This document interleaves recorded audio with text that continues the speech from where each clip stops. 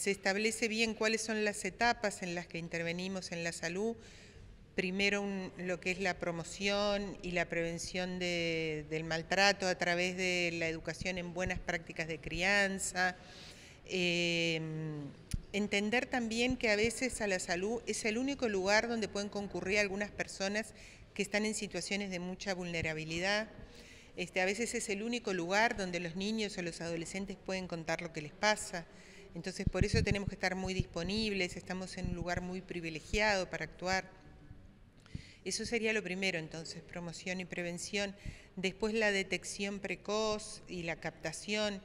Este, acá las situaciones pueden venir, a veces ya vienen con un diagnóstico porque vienen derivadas de otra institución, vienen de la escuela o de la fiscalía, a veces es un familiar que las cuenta, a veces las cuenta el propio niño o adolescente pero a veces hay que sospecharlas. Entonces es muy exhaustiva la guía en esto. en esto también, esta también creemos que es una de las fortalezas, porque analiza todos los indicadores de sospecha que pueden ser de la órbita conductual, de la órbita emocional, también dependiendo de la edad del niño, a veces puede haber trastornos del sueño, de la alimentación, por supuesto también indicadores físicos, que a veces eso los vemos con más facilidad, ¿no? Este, cuando hay una lesión, una fractura, eh, sospechar también cuando el relato de los que acompañan no es concordante con lo que sería el mecanismo de producir la lesión. Hay también directivas claras de cómo comunicarse con esos niños según la edad.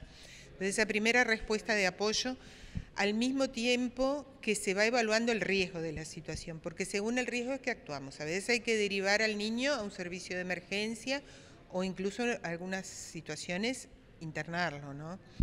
¿Prevén instancias de, capacitación para que estos equipos de salud puedan recibir el material y poder eh, en la práctica llevarlo a cabo? Sí, justamente ahora en este, en este trimestre que está en curso, nosotros les pedimos a las instituciones que nos presenten, por un lado, su protocolo de actuación eh, actualizado con, estos últimos documentos que lanzamos, el protocolo de atención a violencia sexual que a fines fue a fines del año pasado y ahora este de maltrato. Son dos partes de un mismo producto. ¿no? Entonces les pedimos que actualicen su protocolo institucional para que puedan garantizar que se cumpla dentro de su institución, ¿no? de acuerdo a los recursos que tengan.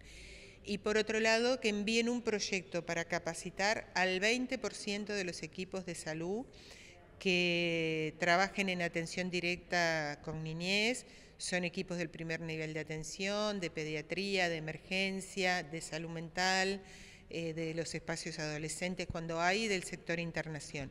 Estamos hablando de una cifra muy importante de trabajadores, son casi 4.400 eh, trabajadores de la salud que van a ser capacitados entre lo que queda del 2019 y parte del 2020.